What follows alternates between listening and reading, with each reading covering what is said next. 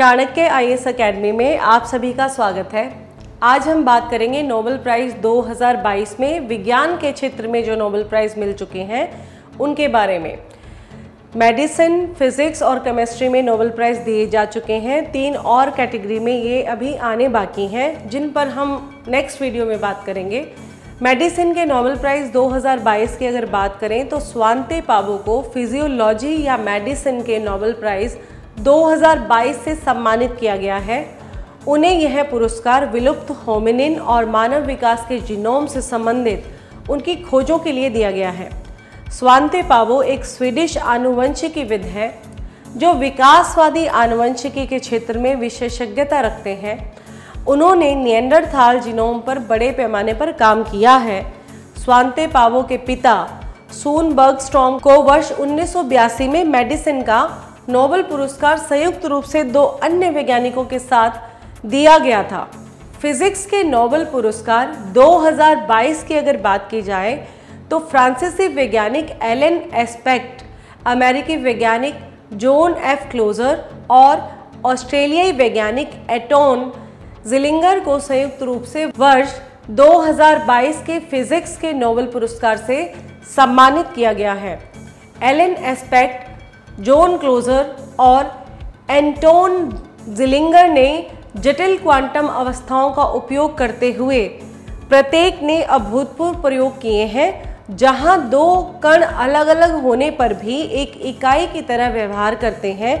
उनके परिणामों ने क्वांटम सूचना पर आधारित नई तकनीक का रास्ता साफ़ कर दिया है।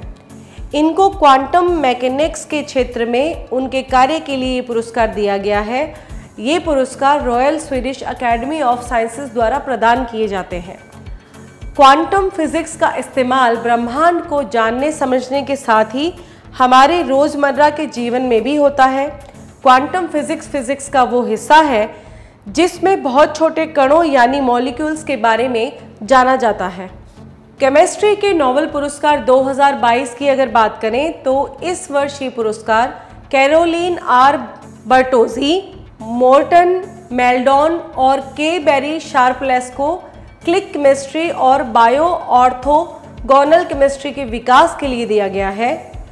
Carolyn R Bertozzi Stanford University, California, USA से जुड़े हुए हैं। मॉर्टन, मेल्डॉफ, कोपनहेगन विश्वविद्यालय, डेनमार्क से और K Barry Sharpless Scripps Research, La Jolla, California, USA से संबंधित है। शार्पलेस ने दूसरी बार ये नोबेल प्राइज़ जीता है। ये भी पांचवी बार ही अभी तक हो पाया है। इन तीनों साइंटिस्टों को संयुक्त रूप से क्लिक केमिस्ट्री और बायो ऑर्थोगोनल केमिस्ट्री के विकास के लिए ये फ़ेमस अवार्ड दिया गया है। अगर हम बात करें कि क्लिक केमिस्ट्री में इन तीनों वैज्ञानिकों के योगदान क्या थे तो क्लिक केमिस्ट्री की अवधारणा के बेरी शार्पलेस द्वारा दी गई है। इन्होंने रसायन विज्ञान में अपना दूसरा नोबेल पुरस्कार जीता है। क्लिक केमिस्ट्री सरल और विश्वसनीय रसायन विज्ञान का एक रूप है, जहाँ रिएक्शन जल्दी होता है और अवांछित उप उत्पादों से बचा जाता है। मॉर्टन मेल्डोन के योगदान की अगर बात करें तो इन्होंने भी क्लिक केमिस्ट्री के विकास में महत्वपूर्ण भूमिका निभाते हुए इसे रसायन विज्ञान के क्षेत्र में सर्वोच्चता प्रदान की है। बेरी शार्पलेस और मेल्डोन ने अलग अलग कॉपर की मदद से एजाइड एल्काइन साइक्लोडिशन को उत्प्रेरित किया। यह एक सर्वोत्तम केमिकल रिएक्शन है, जिसका अब तक व्यापक फार्मास्यूटिकल्स के विकास में डीएनए मैपिंग और अधिक उपयुक्त सामग्री बनाने में किया जा रहा है।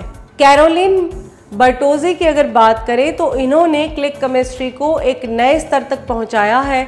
उन्होंने कोशिकाओं की सतह पर जैव अणुओं को ग्लाइकान की मदद से मैप किया। उन्होंने जीवों के अंदर कार्य करने वाली क्लिक अभिक्रियाओं का विकास किया, जो बायो ऑर्थोगोनल रिएक्शन कोशिका के सामान्य रसायन विज्ञान को भी बाधित नहीं करती है। बेरी शार्पलेस ने दूसरी बार ये नोबेल जीता है। शार्पलेस ने दो नोबेल पुरस्कार पाने वाले पाँचवें व्यक्ति के रूप में नाम अपना बना लिया है। इससे पहले शार्पलेस को वर्ष 2001 में केमिस्ट्री का ही नोबेल अवार्ड दिया गया था। शार्पलेस के अलावा Linus Pauling, Marie Curie, John Bardeen और फेडरिक सेंगर को भी दो दो बार नोबेल पुरस्कार मिल चुका है। कार्ल बेरी शार्पलेस एक अमेरिकी रसायनज्ञ हैं जो कि स्टीरियो सिलेक्टिव रिएक्शन और क्लिक केमिस्ट्री के लिए जाने जाते हैं। इसके साथ ही आज का ये टॉपिक हमारा यहीं पर समाप्त होता है। हम कल फिर मिलेंगे एक नए टॉपिक के साथ। तब तक आप हमारे चैनल को लाइक, शेयर और सब्सक्राइब करना ना भूलें। Thank you so much. Don't forget to like, share and subscribe to our channel and press the bell icon to never miss an update.